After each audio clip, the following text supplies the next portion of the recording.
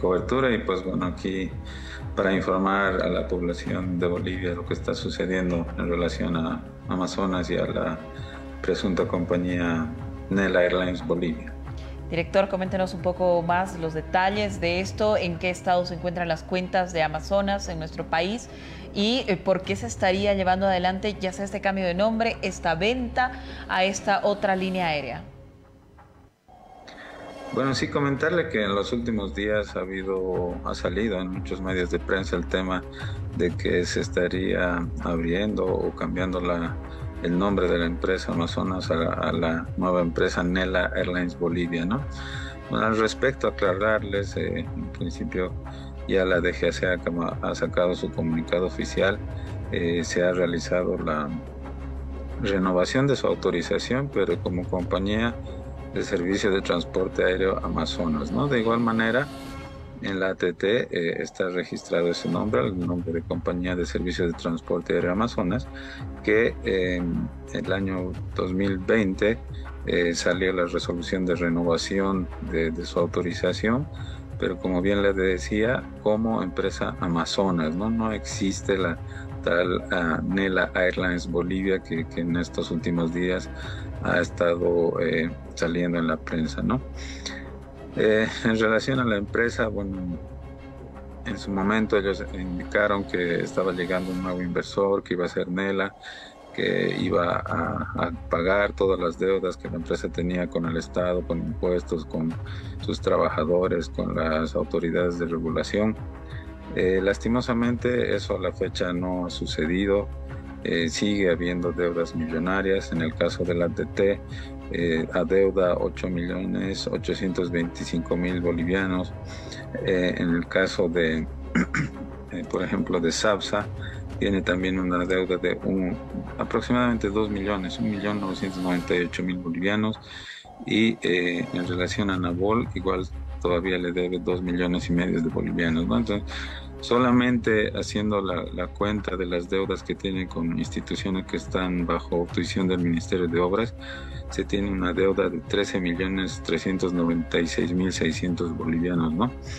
Es eh, realmente preocupante. Eh, hace mucho que ya han anunciado el tema de que eh, se iban a cumplir con los compromisos que tenían, pero a la fecha lastimosamente no ha sucedido eso, ¿no? Entonces, bueno, esperemos que eh, en estos meses que vienen la, empresa eh, tome conciencia y pueda mm, cumplir con estas obligaciones que tiene, ¿no? reiterarle, nuevamente, reiterarle nuevamente que bueno, la empresa Nela Bolivian Airlines no, no existe, ¿no?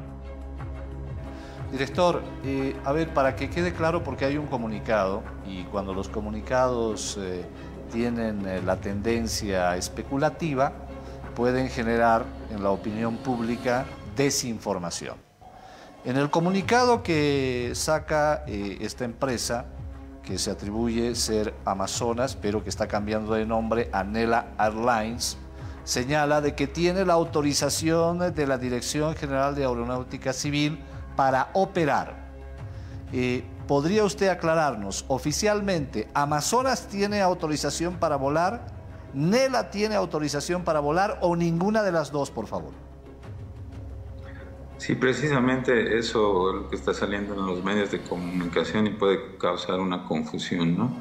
Como les decía, Nela Airlines eh, Bolivia no tiene ningún tipo de autorización para realizar operaciones de transporte aéreo en el país. Amazonas sí lo tiene, lo ha actualizado eh, tanto en la ATT como en la DGC, por lo cual puede prestar los servicios de operación. En este sentido, si es que alguien ofrece pasajes como Nela Airlines Bolivia, es eh, un, engaño porque no existe tal empresa y no podría estar tampoco comercializando pasajes.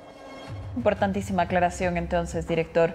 Ahora, hablando sobre estas millonarias deudas que presenta Amazonas, eh, ¿qué medidas se asumen desde las entidades correspondientes sobre este tema?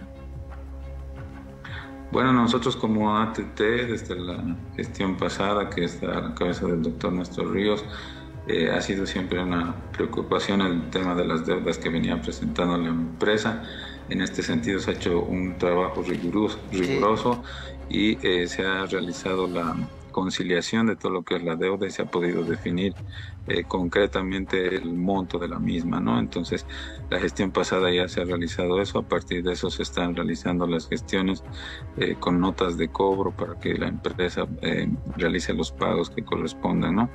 A la ATT debe por tema de tasas de regulación, por el tema del derecho de uso de frecuencias y, bueno, por algunas multas también, ¿no? Bien, director, muchísimas gracias. Importante que la población boliviana sepa manejar con cuidado estos comunicados que están saliendo en los medios de comunicación sobre esta empresa Nela Airlines. El director lo ha aclarado, no existe autorización para que esta empresa denominada Nela Airlines opere en el país. Le agradecemos mucho, director. Un fuerte abrazo, que sea hasta una próxima oportunidad. Bueno, muchísimas gracias a ustedes y bueno, nosotros como ATT siempre dispuestos para poder informar a la población. Muy buenas noches. Buenas noches. Bien, muchas gracias.